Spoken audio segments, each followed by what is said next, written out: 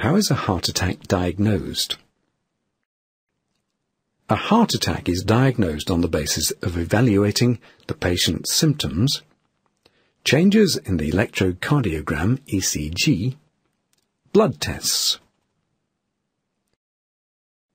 Typically, a heart attack is associated with symptoms of severe chest pain, lasting for more than 15 minutes, that can spread to the neck, jaw, arms, or through to the upper back.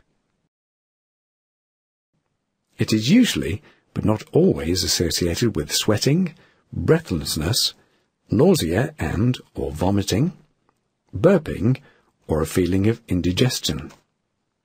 Occasionally, heart attacks are silent, producing no symptoms, and are discovered only when other investigations are performed at routine medicals or when patients present with other symptoms. The electrocardiogram looks at the electrical activity produced by the heart muscle contracting.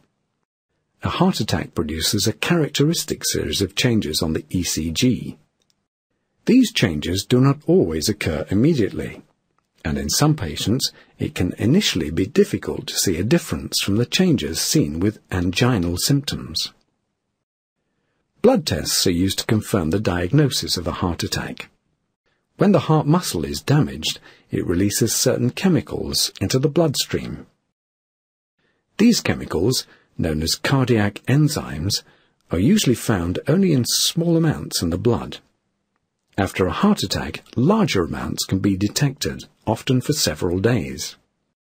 The levels can be measured from a series of blood tests taken over a period of time.